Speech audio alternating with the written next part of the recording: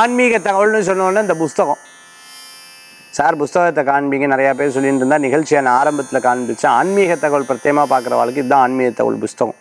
சரி இன்றைய தினத்தில் ஆன்மீக தகவலில் நம்ம பார்க்கக்கூடிய விஷயம். சார் எனக்கு வந்து வீட்டில் எப்பவும் மகாலட்சுமி கடாட்சம் இருக்கணும். வீட்டில் மகாலட்சுமியினுடைய அனுகிரகம் இருக்கணும்.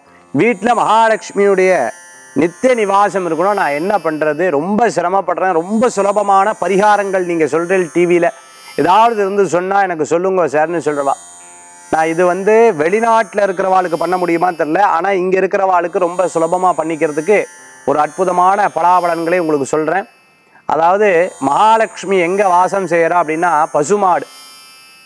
பசுனாம் ரூபமன்யஸ்யன்னு சொல்லுவாள் அதாவது இந்த பசு ரூபங்களில் பல தெய்வங்கள் அமர்ந்திருக்கிறத நம்ம பார்க்க முடியும் இல்லையா?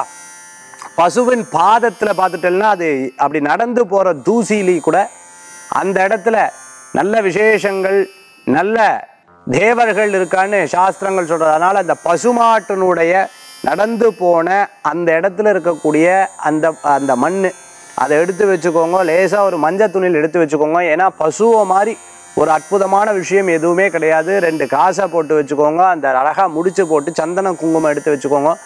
டெய்லி பார்த்துட்டேன்னா அதை அழகாக வீட்டு வாசலில் கட்டி சாம்பிராணி காண்பிக்கிறது ரொம்ப விசேஷம்.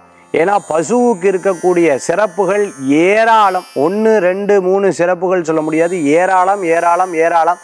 இது வந்து நடக்குமா சார்? நீங்கள் செய்து பாருங்கள் அவ்வளோ விசேஷங்கள் இருந்துருக்கும்.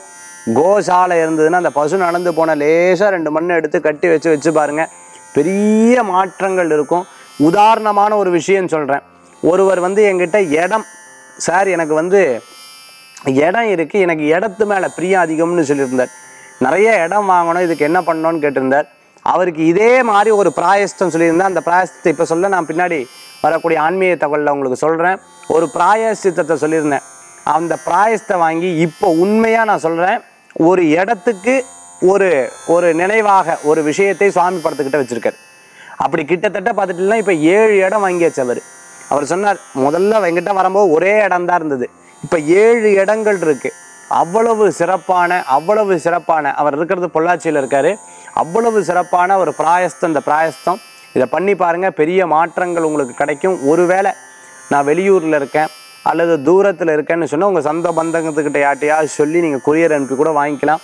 அவ்வளோ விசேஷங்கள் கொண்ட இந்த பசுவினுடைய கால் மண் அவ்வளோ சிறப்புன்னு சொல்லுவாங்க.